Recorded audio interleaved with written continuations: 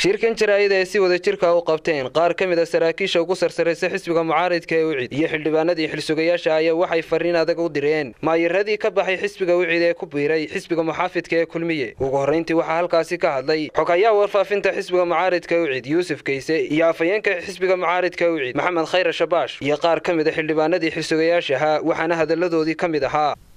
Sharcigana cid baa maanta gacanta ku haysa. Ciddaasi waxay yeesho waxay ciddaasi yeesho. Sharcigaa ka yeesho. Maadaama maanta aanay ka murmayn sharcigii jebiyeen oo cabdishakuur ilaa imika uu leeya kulmiyaan galay cidda keliya isku halaynaya waa muuse.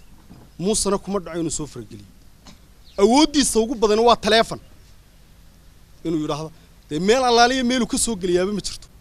Mudiciga koobaad. Mudiciga koobaad. Waa xildhibaanadii idinla sharaxnaa ee codkooda ku fadhideen. Waana kuwan hareerahayga taagan iyagaana isbayaamin doonaa. Inanka gabiiley inamadii gabiiley ee kula sharaxnaa ee codkooda aad ku fadhiday waa kuwan taagan. Iyagaana geelaya ku bedelaya haddii uu yahay ciddin iyo ciddii berbere ka baxdayna waxa bedelaya xildhibaanadii berbere waa kuwan taagan. Qodobada xeerka ee aad qaar ku ka hadlayseen ee tidhaahdeen qodobkaasaad akhrineen oo kan aad ku gufteena. Ilaahay qur'aankiisa wuxuu yidhi idaa khaadabuu jaahiliya qaaluu salaama xeerkanu goortuu dhaqan galay waa saddex iyo tobankii disembar wixii ka horreeyey shaqa kuma laha waxaa ka dambeeyey shaqa ku leeyay. Xeerkanaanay ururada iyo asxaabta qaranku ku dhaqmaan. Marka horta dhaqangalka xeerka intaad qodobka akhriyayso dhaqangalka xeerku waa goormuu ka bilaabmaa? Ogow.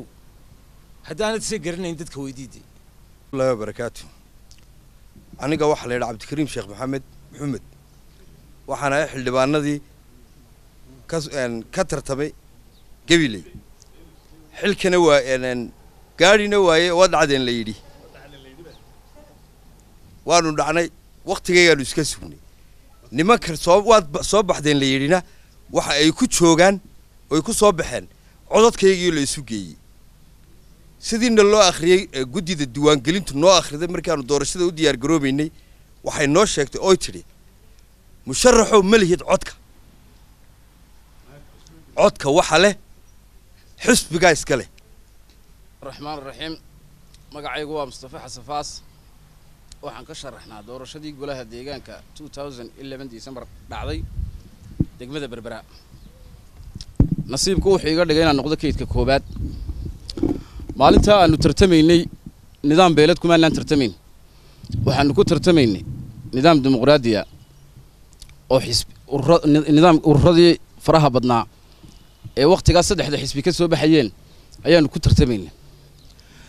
Waxaana kala reebay nimankaanu saaxiibada nahayna ka dhigay xildhibaanno annagana kaydka naga dhigay oo waa hadheen la yidhi sharcigu ahaa iyo xeerka.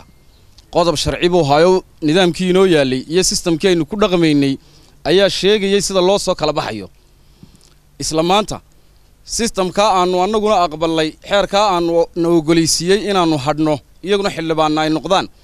Ayuunbaa maantana yaalla oo qayaxaya oo sheegaya xildhibaanku xilliga uu waayi kara xasaanaddii uu xildhibaanka ku ahaa. Tii baana timi. Cabdiraxiin axmed mahdi telefishinka caalamiga kelson tif magaalada hargeysa